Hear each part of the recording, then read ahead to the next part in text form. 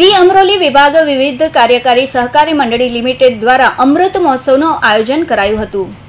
અમરોલી ખાતે આવેલ ધી અમરોલી વિભાગ વિવિધ કાર્યકારી સહકારી મંડળી લિમિટેડ દ્વારા સહકાર થકી સૌનો વિકાસની ઉદાર ભાવના સાથે ઓગણીસો સુડતાલીસમાં સ્થાપેલ સંસ્થા છે.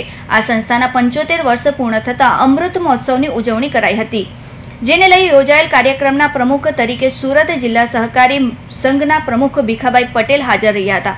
તો ગુજરાત રાજ્યના કૃષિ ઊર્જા અને પેટ્રોકેમિકલ્સ રાજ્યમંત્રી મુકેશ પટેલ તથા મોટિવેશનલ સંજય રાવલ ખાસ ઉપસ્થિત રહ્યા હતા.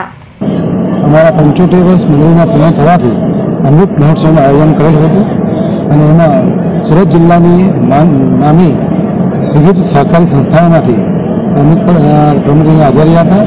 એમાં અમારા આજના અધ્યક્ષ ભીખા કાકા જેઓ સુરત જિલ્લા સંઘના પ્રમુખ છે. તેમજ આપણા મુકેશભાઈ પટેલ જેઓ લોકલાડીના આપણા ધારાસભ્ય છે.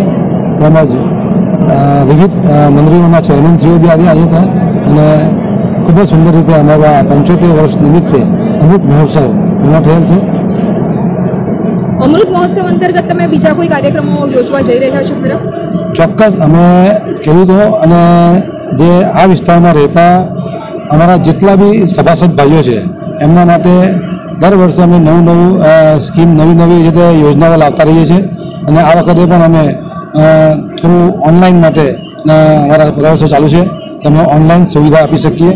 અને થોડું ઇલેક્ટ્રોનિક મીડિયામાં જવા માગીએ છીએ. અમારા સ્ટોરને અમારાને થોડું હાઈટેક કરવા માગીએ છીએ. પંચોતેર વર્ષ માટે સ્પેશિયલી અત્યાર સુધી તો નવી નવી યોજનાઓ લાવતા જ હતા. પરંતુ જ્યારે પંચોતેર વર્ષની ઉજવણી કરતા હોઈએ ત્યારે કોઈ સ્પેશિયલ યોજનાની જાહેરાત કરવામાં આવી છે ચોક્કસ. અમે અમારા પંચોતેર દિવસ નિમિત્તે અમારા દરેક સભાસદ ભાઈઓને સર્વિસ સાતસો રૂપિયાની ગિફ્ટ કૂપન આપી છે અને બીજું દસ ગ્રામના કણના સિક્કાનું અમે સ્મૃતિ ભેટ તરીકે દરેક સભાસદોને આપવાનું આપવાનું ઠરાવ્યું છે. આજના કાર્યક્રમમાં કેટલા તમારા સભાસદો હાજર હતા? આપ જોઈ શકો છો આખો મંડપ ફૂલ હતો અને બેસવાની જગ્યા બી ખૂટી ગઈ હતી. અમારા સભાસદ સંખ્યા ચુમ્માલીસો ને ત્રાણું છે. તે પૈકી લગભગ મેજોરિટી સંખ્યા અહીંયા હાજરમાં હતી. બરાબર છે? ધી અમરોલી વિભાગ વિવિધ કાર્યકારી સહકારી મંડળી લિમિટેડ દ્વારા યોજાયેલ અમૃત મહોત્સવમાં અનેક મહાનુભાવો હાજર રહ્યા હતા.